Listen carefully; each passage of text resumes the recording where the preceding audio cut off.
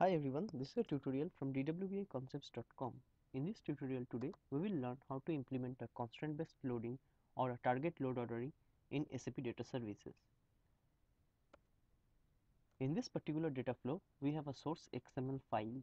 This XML file contains a list of menu items and the ingredients used for that particular item. Over here, the menu which is at the header level and we have the ingredients corresponding to a particular menu item in a restaurant at a detail level. So in this particular example, we want to load two target tables, one for the master records having the menu item ID, the menu item name, the description of the menu and the price and a detailed table which will contain the menu item, what is the menu item and what are the ingredients used to prepare those items. So over here we have used a source XML file followed by a query transform. Next we have unnested with subschemas. So all this becomes now unnested and we will get a denormalized output of the data. So it will have the menu and the ingredients in a denormalized fashion. Next we use two flows, one to populate the master and one to populate the detail.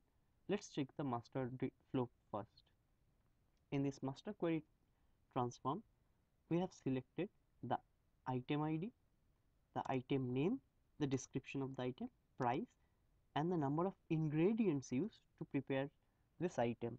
Over here we have used the count of the extract name because it contains the name of the ingredients. So we are taking a count of the name and group by on the item item name description and price. Next we check the detail flow.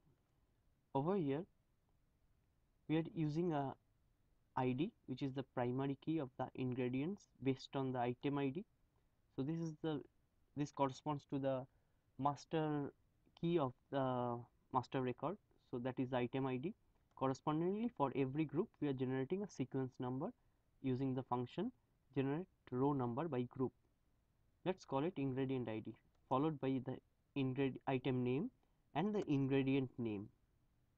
And we populate to this master table and correspondingly the detail table.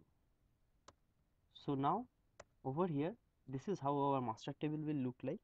It contains the menu and its detail and the detail level will look like the ingredients corresponding to each of the menu.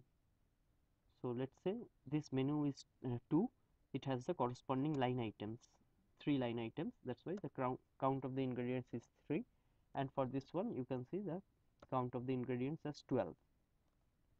Now our purpose was to load the master records first before loading the detail record. So in this case how we configured this we go to the target and in the options we check the transaction control. Include in transaction we set to yes and the transaction order is set to 1 next in the second target that is the detail level.